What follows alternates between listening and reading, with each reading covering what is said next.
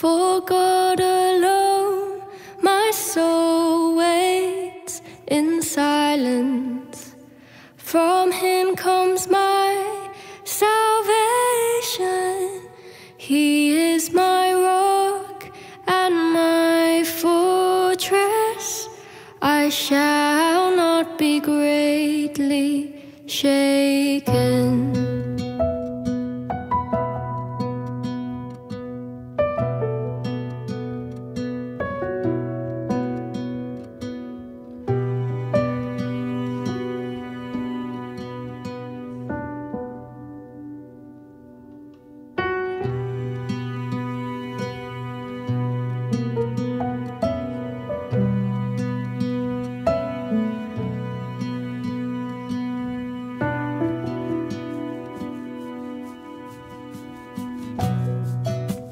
Hello, and welcome to a new series of daily devotionals. Uh, this week's devotionals are drawn from the book Beauty in the Chaos, written by Sam Silcock, who is part of the church here at QRBC. Today's devotion is titled Keep Walking. I was out for a walk, and it was dry with a very cold breeze. As I continued, the weather turned and snow was pelting against me in the wind. I was getting soaked, but I carried on.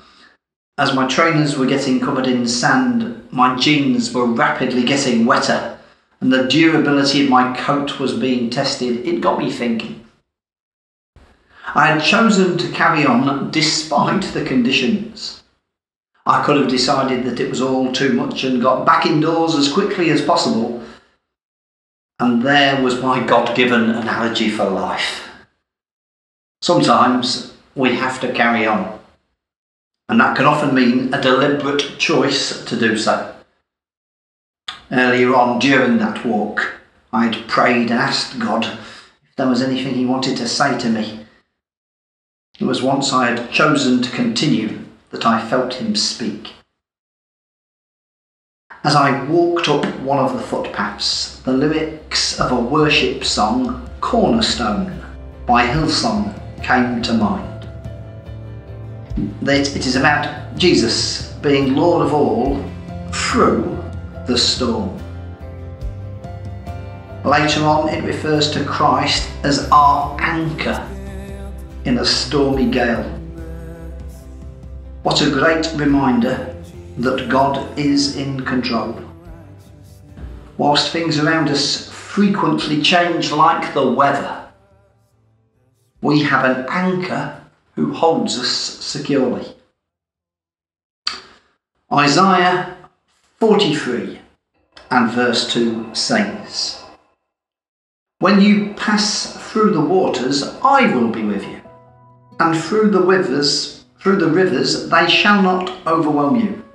When you walk through fire, you shall not be burned, and the flame shall not consume you. Philippians chapter 3, verse 13 from the message says, But I've got my eye on the goal, where God is beckoning us onward to Jesus. I'm off and running and I'm not turning back. So remember that He is with you and keep walking. For God alone, my soul waits in silence. From Him comes